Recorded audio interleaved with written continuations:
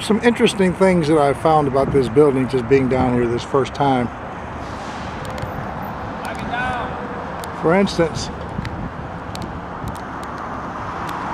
up at the top where I showed you the sign that says Save the Depot, up above Save the Depot there are some letters and it looks like L-I-S-A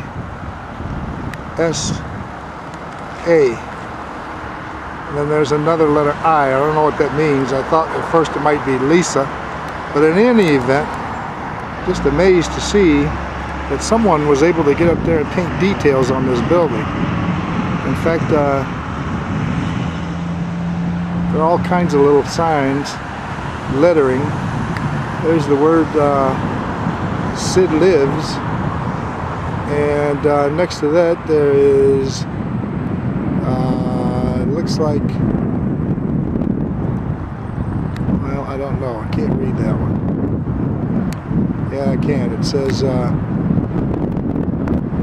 it says Tim. I can see it without looking through the lens or the camera.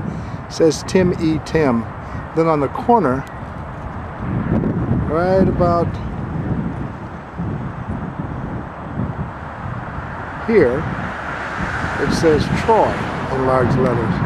Now pan down to give you some idea how high up that is.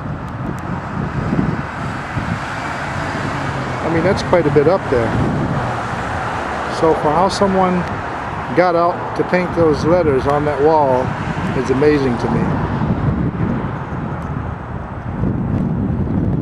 And I'm not sure what that little garage type section is on the right there, but it looks like it might have been where the trains pulled in or or they stopped or something.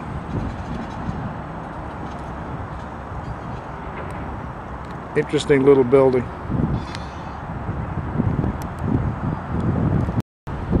There seems to be a lot of graffiti all over this building. In fact, this is uh, this is at ground level, but it is behind the fence. So again, it's uh, it's just sort of amazing how much writing goes on on this building and how people not only how people got in there to do the writing but why anyone would want to go in there and do any writing on this building unless someone actually lives inside this building.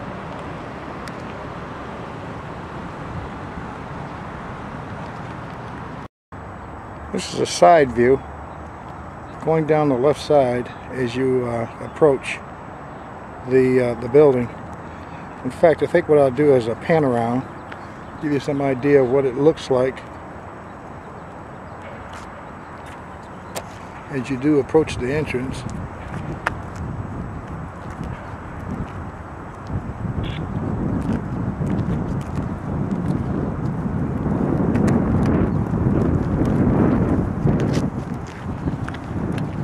So what you're looking at there is Michigan Avenue. And this is the uh, grand entrance way.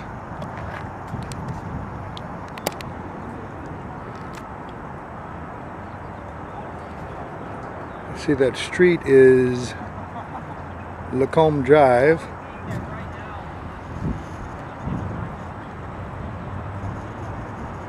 there's a few uh, little roads inside there, but anyways, as you uh, drive in, you approach the train station and of course this is what you see.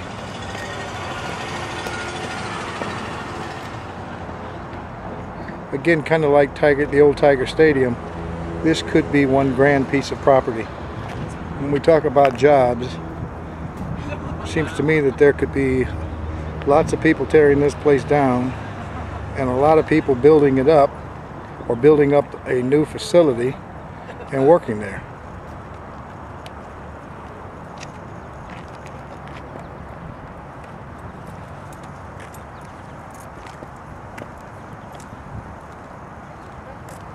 So there are definitely jobs to be had if this city and the owner of this facility is willing to talk and work out some sort of a deal.